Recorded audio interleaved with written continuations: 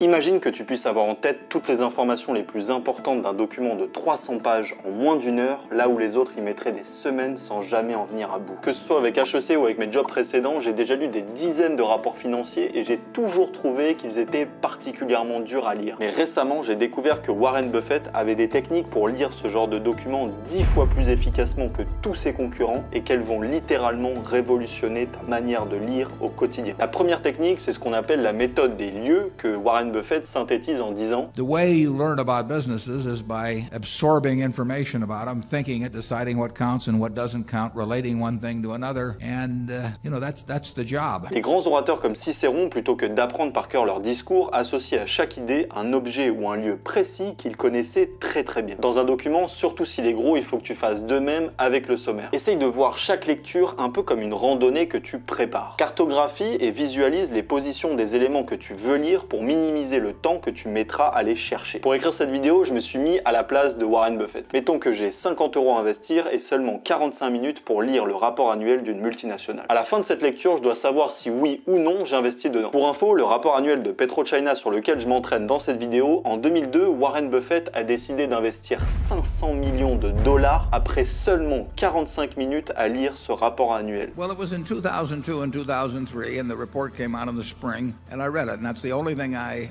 donc avant de commencer, j'anticipe les points importants pour ma décision d'investissement, puis je lance le chrono et 20 minutes plus tard, premier problème, je n'arrivais pas du tout à avancer. Après coup, j'ai remarqué que j'avais passé près d'un tiers de mon temps à naviguer dans le document plutôt qu'à trouver et lire les éléments que j'avais ciblés. En la mettant en pratique, vous allez voir que l'avantage de cette technique est en fait double. En refaisant l'exercice, d'un côté, j'avais divisé par 3 le temps de navigation en passant de 10 minutes à 3 minutes, et donc d'un autre côté, j'avais gagné 7 minutes de temps pour lire les informations pertinentes. Donc j'ai repris mon exercice et je suis allé cette fois-ci au bout des 45 minutes. Mais cette fois-ci, je n'avais réussi à trouver que 3 éléments sur 5. Comment j'avais fait pour être si lent, moi qui savais précisément ce que je voulais chercher dans ce document? En fait, le problème venait de là. What I find is that it takes a long time to read the annual report, even if it's a comparatively simple business. Quand j'ai entendu ça la première fois, j'ai eu un vrai déclic. C'était un rappel à un de mes cours de philosophie préférés, celui sur Socrate. Jusque-là, j'étais parti bien en tête que parce que je lisais quelque chose de complexe, mon attention devait être focalisée sur comprendre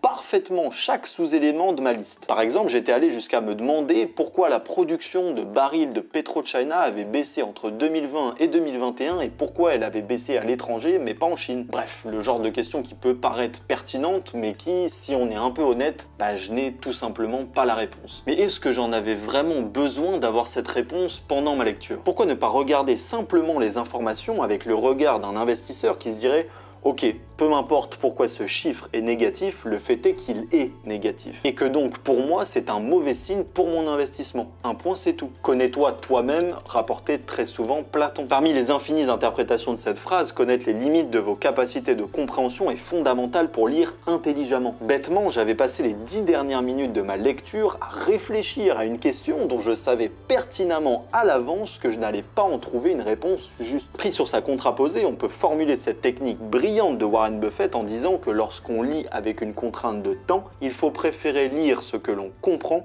et ignorer ce que l'on ne peut comprendre. Ou, avec mes mots, mieux vaut comprendre peu mais bien beaucoup et mal. À mon dernier essai, j'étais passé à un dernier rapport annuel, mais cette fois-ci, il y avait quelque chose de très bizarre. J'étais arrivé au bout des 45 minutes, j'avais bien trouvé les 5 éléments de ma liste, mais j'avais un nouveau gros problème, c'était que je ne comprenais rien. Enfin, c'est plutôt cette impression que vous avez quand vous lisez beaucoup d'éléments différents que vous comprenez pris un par un, mais quand vous finissez de lire votre document ou votre livre, c'est difficile d'en avoir une image vraiment claire. Je sais pas quoi en penser grosso modo, je saurais pas te dire si oui ou non je vais investir 50 euros et que je sais pourquoi. Sauf que c'est précisément ce que notre ami Warren veut savoir quand il lit ce genre de document. Even though we know what to skip to some extent, what to read, I mean, it, it's going to be 45 minutes or an hour on a report. Mais pour résoudre ce problème, il a une astuce vraiment brillante. Métaphoriquement, voyez cette technique comme ce sort dans Harry Potter qui transforme quelque chose de terrifiant en quelque chose de ridicule. Et c'est vrai, ces documents officiels, comme les gros livres d'histoire, les livres Pléiades, les rapports de gouvernement, nous créent un complexe d'infériorité. Leur apparente complexité nous paralyse et nous empêche d'en avoir une vision claire. Donc, vous allez vous forcer à simplifier à outrance les quelques idées que vous avez comprises pendant votre lecture, vous allez leur lancer un...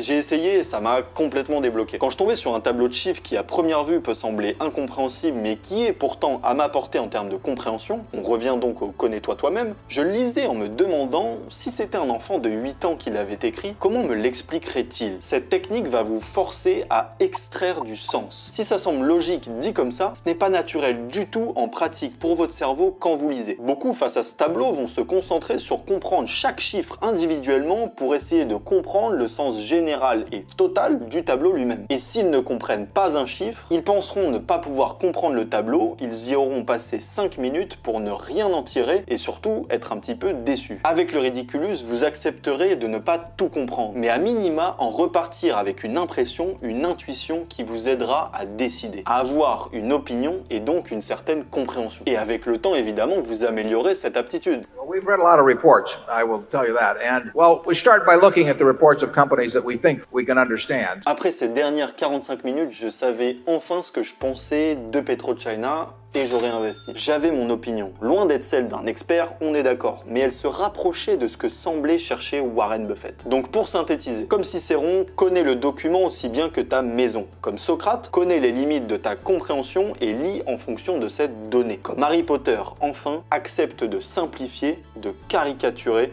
pour avoir une opinion de ce que tu lis. Dites-moi en commentaire si vous utilisez déjà cette technique ou si vous en avez d'autres en tête pour lire des documents assez importants. Ça m'intéresse vraiment et je pense que ça peut intéresser tout le monde. Vous êtes de plus en plus sur la chaîne, je vous en remercie, j'espère que le contenu vous plaît et je vous dis à très vite.